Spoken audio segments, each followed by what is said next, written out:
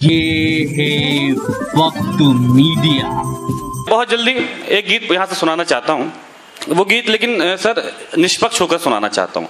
और मुझे मालूम है कि मेरे सामने सब हिंदुस्तान बैठा है, सब निष्पक्ष लोग हैं। हम जो आम आदमी होते हैं ना, सर, हम आम आम इंसान होते हैं। हमारी बस कुछ कुछ डिमांड होती हैं। रोटी, कपड़ा और मकान और 45 से पचास हज़ार की एक बाइक के लिए सस्ता पेट्रोल।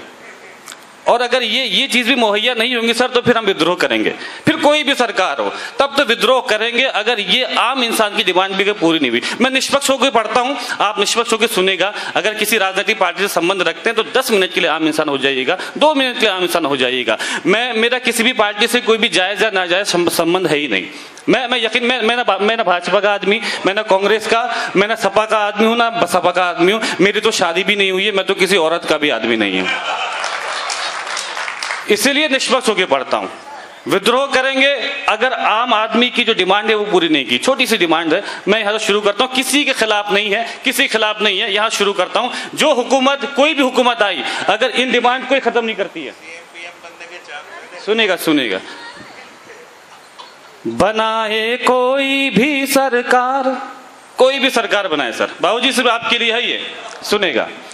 बनाए कोई भी सरकार, बनाए कोई भी सरकार, बनाए कोई भी सरकार, हमारी जो न सुनी इस बार तो हम विद्रोह करेंगे तो हम विद्रोह करेंगे। देश के पालनहार अरे ओ देश के पालनहार हमारी जो न सुनी इस बार तो हम विद्रोह करेंगे तो हम विद्रोह करेंगे। निष्पक्ष आप बन के सुन रहे हैं, इसका मतलब ये नहीं कि आप ताली नहीं बजाएँगे।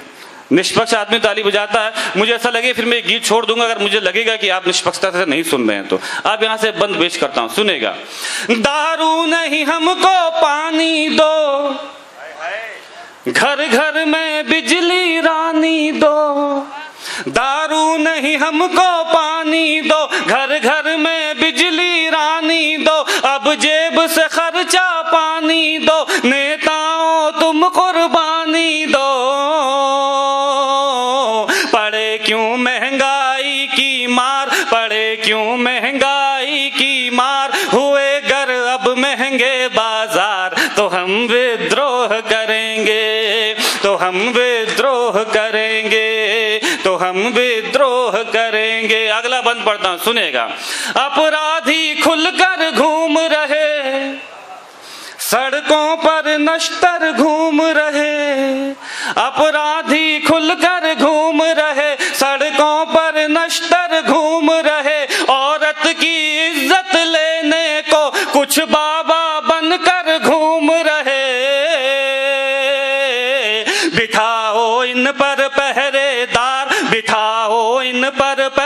पहरेदार हुआ नारी पर अत्याचार तो हम विद्रोह करेंगे तो हम विद्रोह करेंगे तो हम विद्रोह करेंगे। जैसा लग रहा सर, कि पूरा मीडिया बिकसा चुका है। मैंने हिंदुस्तान के दो बड़े अखबारों में काम किया, सर। मैं शाम को जो जो जो खबर दे के आता था और सुबह जब उस खबर को पढ़ता था तो वो खबर वो खबर नहीं होती थी जो मैंने शाम को दी थी। पता नहीं कौन सा उस खबर को बदल देता था। सर, जो बड़े नेशनल अखबार है ना, बड़े कुछ, सब नहीं सब नहीं। नहीं नहीं, सब नहीं सब नहीं, सब अखबार नहीं। कुछ ऐसे अखबार हैं जिनसे ये ये ये ये सब कुछ जनता चल रही है। लेकिन जो कुछ अखबार हैं, बहुत ही बड़े अखबार हैं, जो जब सच छापते हैं ना तो ये सोच के छापते कि हमें फ़ायदा हो रहा है कि नहीं हो रहा। उससे अच्छे तो वो क्षेत्रीय अखबार है साहब, जो सच लिखने से पहले सोचते भी नहीं कि हमें फ़ायदा है कि नुकसान है। यहाँ से पढ़ता हूँ, कुछ अखबारों के लिए, कुछ अखबारों के लिए पढ़ता हूँ। शहरों के कुछ अखबार सुनो जनता की चीख पुकार सुनो। शहरों के कुछ अखबार सुनो। जनता की चीख पुकार सुनो। नारी पर अत्याचार सुनो। हंसता है, भ्रष्टाचार सुनो। कभी सच भी छापो सरकार, कभी सच भी छापो सरकार। किया खबरों का कारोबार तो हम विद्रोह करेंगे तो हम विद्रोह करेंगे। तो हम भी सच बोलने के लिए बड़ी हिम्मत चाहिए होती है, सर। और सच इस माइक से बोला जाए तो बहुत हिम्मत चाहिए होती है उसके लिए भी। आखिरी बंद पढ़ता हूँ, उसके बाद अपनी रंग की शायरी पढ़ूँगा। सुनिएगा।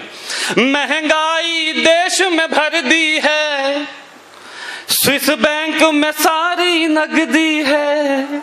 महँगाई देश में भर दी है, स्विस बैंक में सारी नगदी है। तुमने तो हद ही कर ये कैसी नेता गर्दी है?